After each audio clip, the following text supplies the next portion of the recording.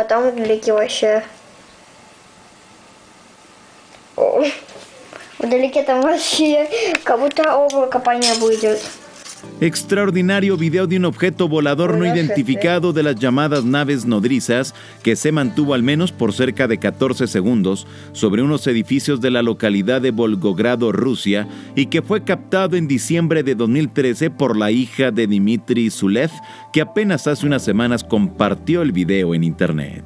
Fue su niña de unos 6 años de edad que tomó una cámara de video para grabarse en primera instancia. Al momento que se acercó a la ventana, notamos que la familia se encontraba en la parte alta de un edificio que podemos presumir que son iguales a los que se ven en el fondo de este video. Va captando las escenas al interior de su departamento y vemos a otras personas que al parecer estaban haciendo tarea. Un material que está llamando la atención de los investigadores a nivel internacional como a Santiago Iturria, colaborador de Tercer Milenio en Nuevo León, quien le dio puntual seguimiento a este caso. Notamos la presencia en el cielo desde el segundo 19 en un principio de tres objetos muy luminosos de color blanco. Son luces muy intensas que incluso alcanzan a iluminar la bruma que había en la zona, que como nos damos cuenta está completamente cerrado el cielo. Eran luces que estaban a una baja altitud como podemos observar. Conforme van pasando los segundos, a la niña le llamó la atención y nos permite ver a estos objetos con más detenimiento.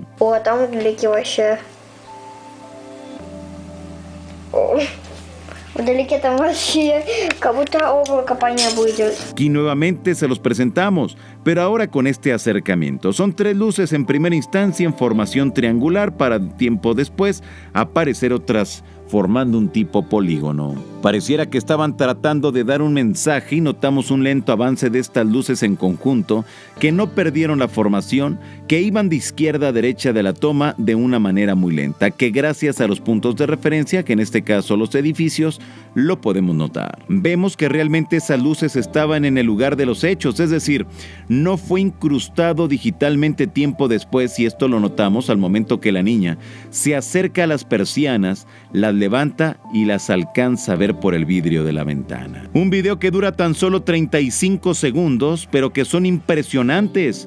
Ya en la recta final de este material simplemente la niña dice que ya la va a apagar, es decir, no le dio mucha importancia y desvió la cámara de nuevo al interior del departamento, pero el momento del avistamiento fue suficientemente claro y detallado. La ciudad rusa de Volgogrado alcanzó fama mundial y reconocimiento por ser sitio de una de las más cruentas batallas de la Segunda Guerra Mundial, donde se resistió a los intentos de conquista de la Alemania nazi.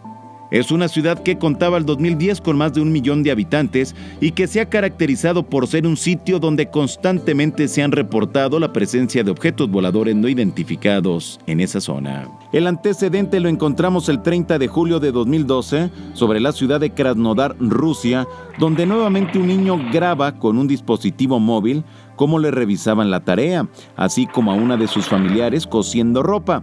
Cuando se acerca a la ventana del departamento, logró grabar dos cúmulos de luces de color naranja plena luz del día con mucha bruma que se tiene de fondo.